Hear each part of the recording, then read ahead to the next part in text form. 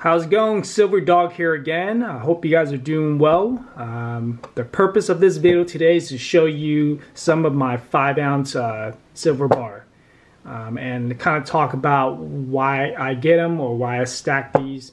Um, so the first bar we have is of course the APMEX. Pretty low premium on them. Uh, the reason why I pick up these five ounce bar is because I want every time I order something online, I want to spend over fifteen hundred dollars, so I don't have to pay sales tax. Because I save pretty much eighty to somewhere from eighty to hundred something dollars in, in taxes if I spend more than fifteen hundred dollars. So if I ever order something, and pretty much if it's fourteen hundred and ten dollars, I'll pick up a five ounce bar or a one ounce bar, uh, whatever, push it over um, which could be a problem because I end up spending quite a bit more than fifteen hundred dollars every time I order. And yeah, so one thing I like about so this one here, all these Zodiac one I got. Um, one thing I like about them because every single one in the backside has these Chinese character on them that talks about your Zodiac. So if this is your Zodiac, it, so the dragons have power, brave, and which is pretty cool. And uh, and another thing why I get these bars is is good for gifts. So if you know someone's birth year or whatever it is, definitely pick them up. And I actually I gave a few of them away already. So actually, any of these five ounce bars are good for gifts. You know, this is a perfect size.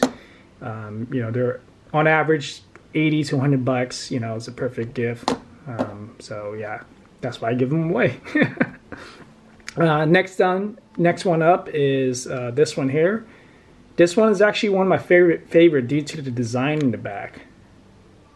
So the Aztec, the calendar, the old ancient calendar, um, which is really really cool. Cool. I mean, there's so much detail on them. Okay, and you notice all my five ounce bars are in capsule. Um, reason is because uh, somewhat protection. I don't really care if I scratch them up or ding them up. It's just where I store these. It's a pretty moist environment. I'm not going to say where, but you know, I don't want them to tarnish faster. So I figure maybe these little capsules will help them from staying fresh. and this one here, I picked up actually two of them, I believe, uh, Golden State, because I did grow up in the Bay Area, so the Golden State Warriors. back of them here. I'm not sure if this have anything to do with the Bay Area, but uh, my favorite, favorite, favorite is of course the Sunshine Minting. For some reason, this stuck with me because in this, uh, the Sunshine Mint is the first silver I ever, ever, ever bought. Not this one, but a 10 ounce bar, and I grew to love it ever since. And here's another Chinese Zodiac one is the ram in the back of it. Again, talks about the Zodiac. Got another one here, the rooster. Again in the back. Talk about, you know, and then got another sunshine, of course. So I got two of them. And this one here is not in the capsule. Um, it's because this one compared to the rest of them, they're different in size. So the capsule capsule I actually bought on Amazon did not fit this one. But this is actually a good way of testing it, right?